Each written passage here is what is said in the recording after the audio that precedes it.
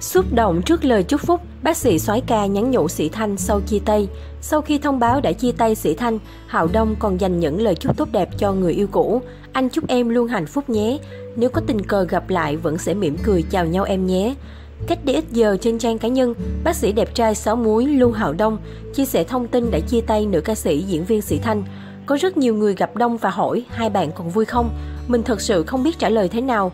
Cuộc sống này luôn là những ngã rẽ bất ngờ, biết nhau, gặp nhau, yêu nhau, cũng đều quẩn quanh một chữ duyên. Giờ đây duyên đã hết, cả mình và Thanh đều có cuộc sống mới.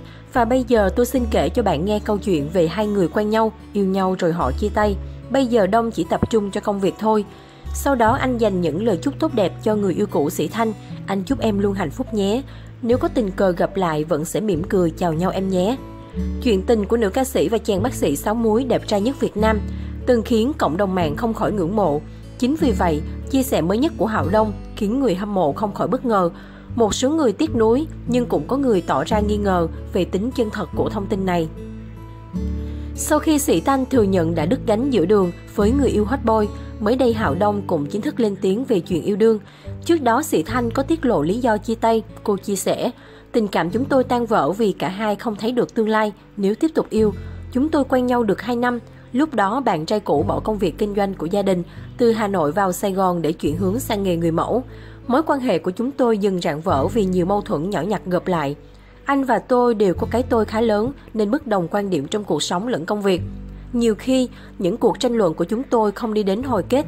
Cảm ơn mọi người đã quan tâm trong thời gian qua. Hiện tại mình ổn, vui vẻ và vẫn xinh đẹp nhé. Sĩ Thanh bất ngờ lên tiếng xác nhận việc chia tay bạn trai là bác sĩ Hạo Đông. Nữ diễn viên cho biết cô và bạn trai đã chia tay 3 tháng.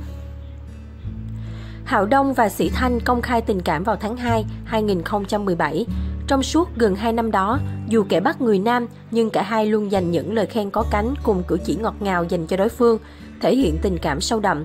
Sĩ Thanh và Hạo Đông còn thường xuyên diện đồ đôi, chụp những bức ảnh vô cùng tình tứ khiến nhiều người ngưỡng mộ ngợi khen.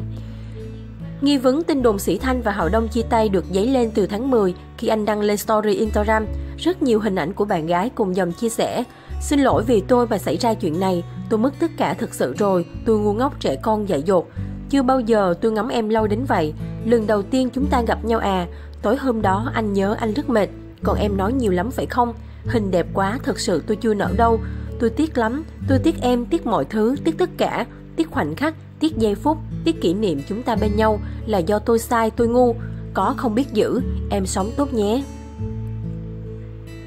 Trước đó chỉ hai chữ gọn gàng, dường như Hạo Đông đã chính thức có lời tuyên bố cuối cùng về chuyện tình của mình với nữ ca sĩ xinh đẹp.